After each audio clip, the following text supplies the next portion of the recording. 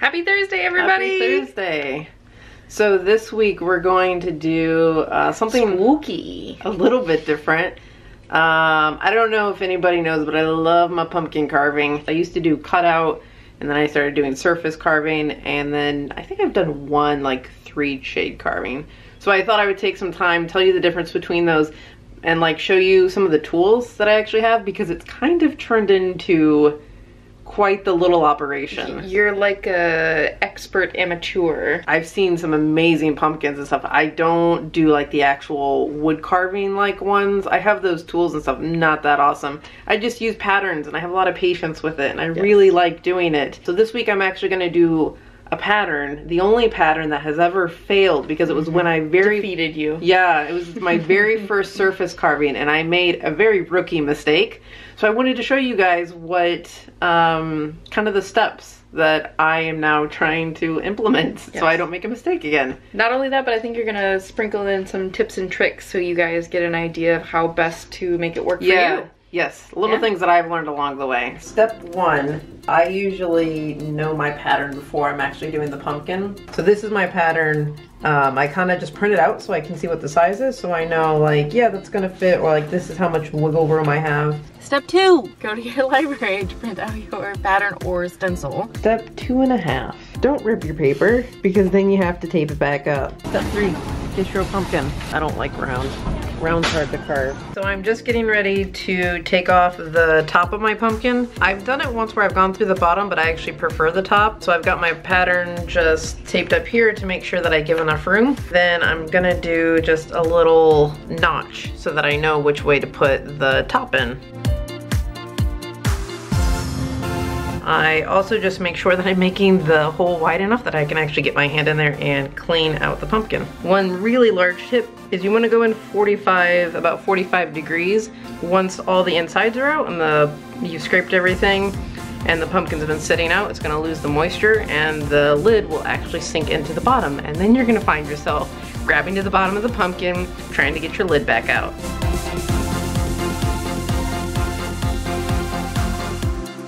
So before we get carving, I just wanted to go over some of the tools that I have because I've actually collected quite a few. Obviously the scoop, I'm gonna use this nice little scoop. I like the one with the ridges in it uh, because it helps actually scrape the outside a lot better. I've got a larger saw here that I actually only really use to take off the top because I, I like the larger teeth, it cuts through a lot better. If I'm doing a normal just cutout pattern, I'll use usually this little poker to just poke through my pattern. I have a couple of these and I don't particularly like them because that's assuming you can just roll along a pattern and but there's a bunch of corners in a pattern that that actually doesn't help that much with. Just the surface carving or any of the shading that I'm doing, I have more of these tools. My favorite one is absolutely this and I'll put some links down in the description. So this is just kind of a self carving that's actually used for wood carving. It's called a Speedball.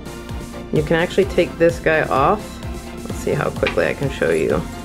Um, and I've got a ton of different scoops. V scoop, this one's really, really good for corners. A larger one to kind of even out if you need to make a deeper cut. All right, so with the Speedball, you just loosen this up.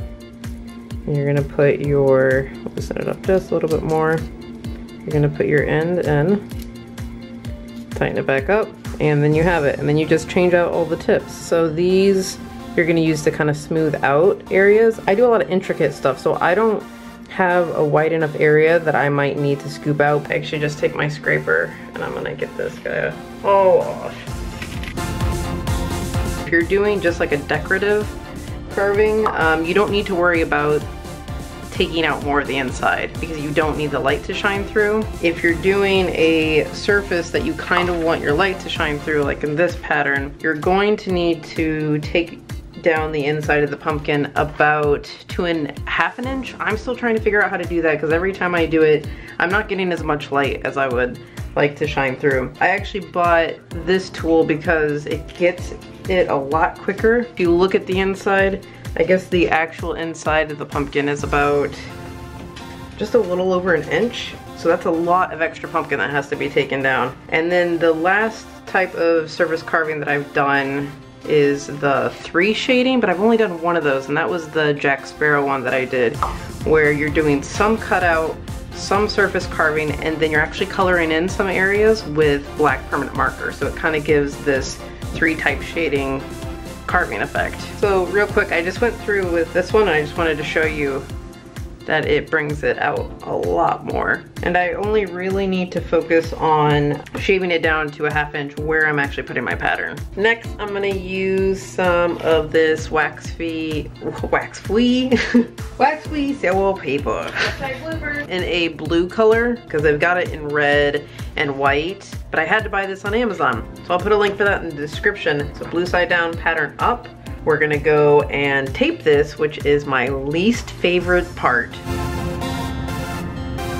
And the reason why I hate doing this part so much is because you want your pattern to be flat across the pumpkin, obviously, and to do that, it involves kind of creasing the paper, but you don't want to crease the pattern. I actually made myself notes down here because I totally did this wrong the first year, and most patterns tend to work this way. So it's more like a negative image in terms of what am I gonna cut out. So the white is going to stay. My gray is when I'm going to carve, but I'm gonna cut out black parts. And now I'm just gonna take a ballpoint pen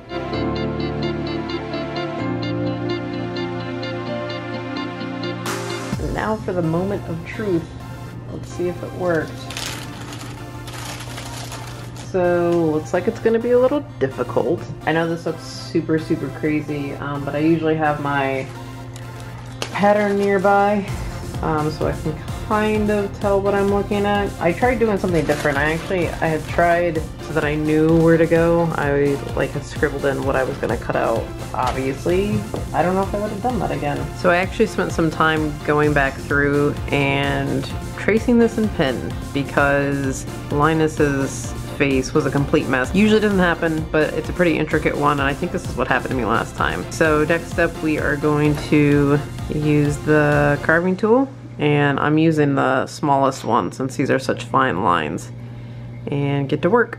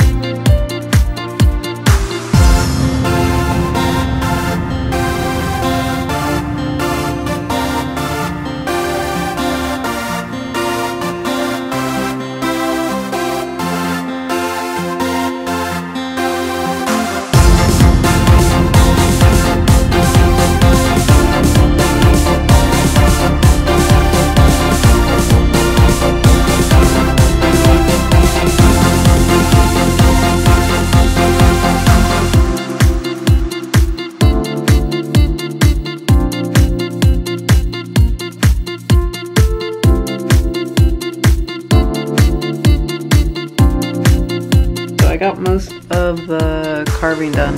Finally, this is day two. Now I just got the cutout left.